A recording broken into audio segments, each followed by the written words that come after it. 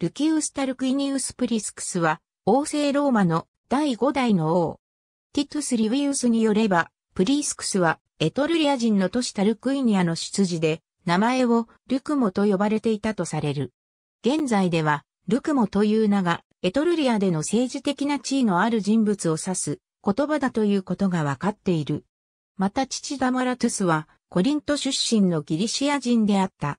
純血のエトルリア人でない彼は、その出自のため本国のタルクイニアでは、政治的な地位につくことは叶わず、ローマへと移住したという。この時、人はの足が戦車を狩る彼の帽子を持ち去り、再び戻って帽子を返した。それを見て、占いに詳しい者は、これは吉兆の現れと言って喜んだという。ローマでは、プリースクスは一躍知られた存在となる。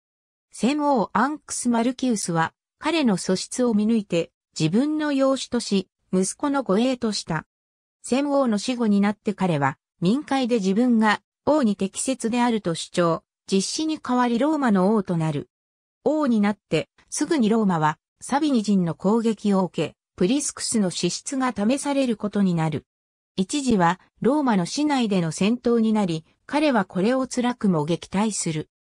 そして今度はエトルリア人都市へ出征。出征は成功を収め、多くのエトルリア人都市を攻略し、彼は数多くの略奪品をローマにもたらした。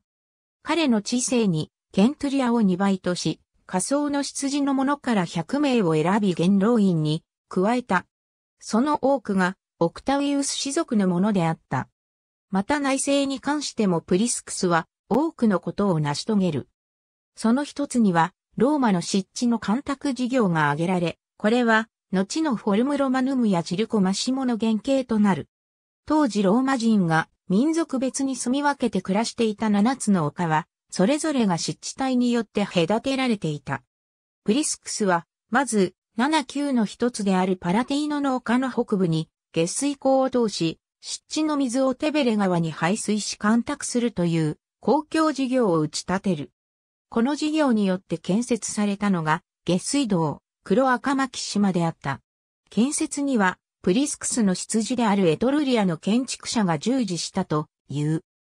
干拓された土地は民族ごとに暮らす丘の間にあって中立的な地点となり、次第に会合や会談のための場所、もしくは公共施設の造成地として用いられるようになった。後に、この場所には、フォルムロマヌムとして後世まで残ることとなる。同様に、7級の内パラティーノの丘とアベンティーノの丘も干拓され、現在では、チルコマッシモと呼ばれる戦車競技場の原型を作った。他にもプリスクスは、ラテン人、サビニ人から得た略奪品を使って、ローマの主神ユピッテル人を祀る神殿を築いた。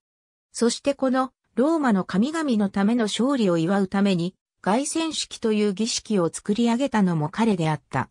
この凱旋式は、エトルリア人の儀礼から取られ、後に、ローマには重要な祭典の一つになっていく。しかし、戦王アンクス・マルキウスの実施によって、プリスクスは38年の治世の後に、斧で殺された。